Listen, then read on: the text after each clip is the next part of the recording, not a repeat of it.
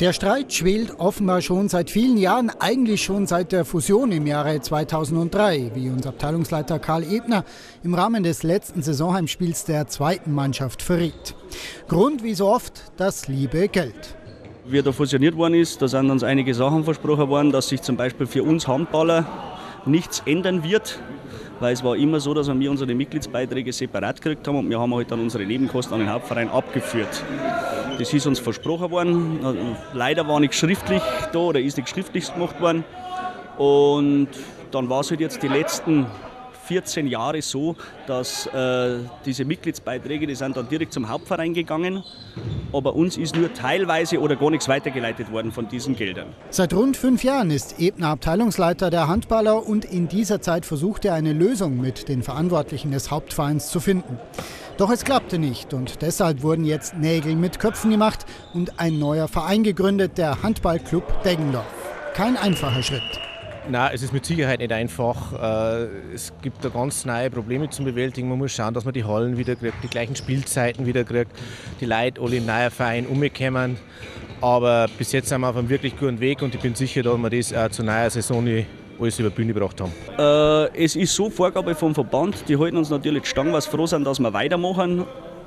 Ähm, aber es müssen alle Spieler also das geht Damen, Herren 1, Herren 2, die einen Pass haben unter der Spielvereinigung Grün-Weiß Deckendorf, müssen kündigen und die Pässe müssen komplett umgeschrieben werden auf dem HC Deckendorf. Und dann kann der Spielbetrieb weitergehen und auch in diesen Ligen, in denen wir jetzt spielen, dass wir den verlieren. Die Mannschaften der Spielvereinigung Grün-Weiß Deggendorf haben also diese Saison noch ihre Runden unter dem alten Namen zu Ende gebracht. Ab der neuen Spielzeit gibt es dann stattdessen den HC Deggendorf wir kommen nicht schlecht davon wie jetzt. Also wir finanzieren uns ja, sage jetzt einmal zu 90 Prozent die letzten Jahre schon selber. Über Sponsoren, über, über Feste, die wir machen, äh, Sommerfest, Turniere veranstalten, dieses, jedes, Verkauf in der Halle.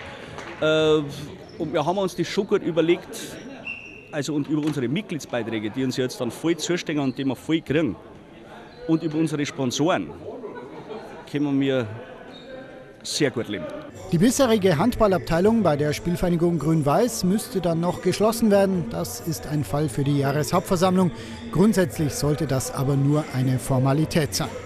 Beide Seiten wollen jetzt auch im Nachhinein keine schmutzige Wäsche waschen. Ja gut, es ist eine, sagen wir, eine souveräne Entscheidung der Handballabteilung. Äh, die, waren, die beiden Abteilungen waren lange beieinander.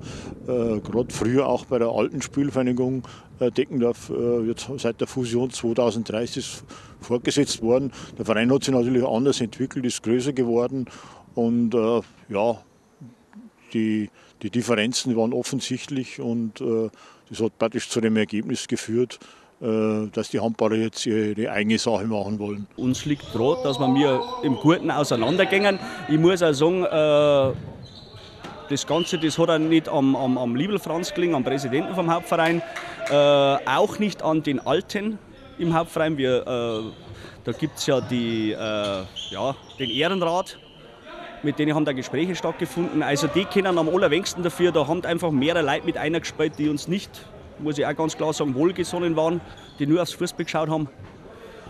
Wir wollen im Guten auseinandergehen. Man weiß jetzt nicht, wie sich das entwickelt. Wir haben unseren Verein und wir sind froh, wenn wir unsere Ruhe haben und wir uns wieder auf Sportliche konzentrieren können. Und da will man jetzt als allererste Maßnahme die aufgrund der Finanzproblematik seit Jahren brachliegende Nachwuchsarbeit stark verbessern.